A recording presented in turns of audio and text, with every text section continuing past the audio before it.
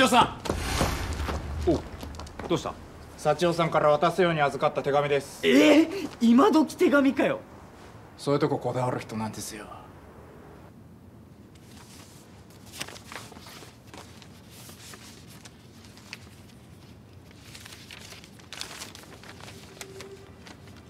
前略花岡不二夫様。聞いたと思うがお前がこの手紙を読んでる頃俺はとある市にはいない家庭の事情ってやつだ。もしかしたら少し長くなるかもしれない。そうなると気がかりなことがある。揉め事ってのは得てしてこういう留守の時に起こるもんだ。藤尾宝泉に何かあったら力になってやってくれ。もちろんその逆もありってことでな。じゃあ戻ったらまた会おう。まさかとは思うがラオウを追いかけてないだろうな。やめとけ。上田幸男より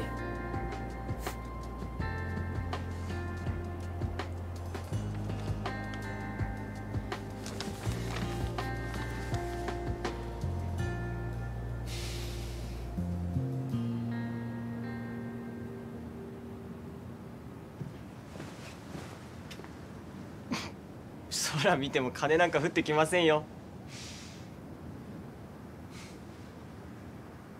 なあじゃあもはい。俺はずっと男に生まれたからにはやっぱ目指すはてっぺんだろう。って思ってきたんだけどさ。